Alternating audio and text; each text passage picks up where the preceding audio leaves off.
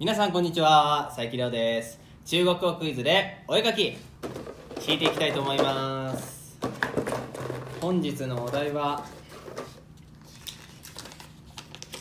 こちら。うわ全然わかんないよ。わかりました。これノーヒントでいけるわ。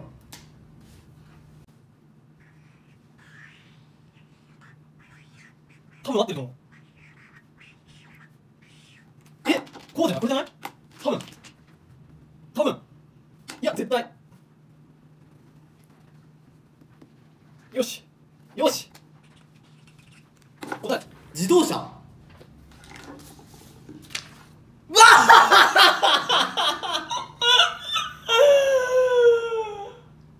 自転車でした。ありがとうございました。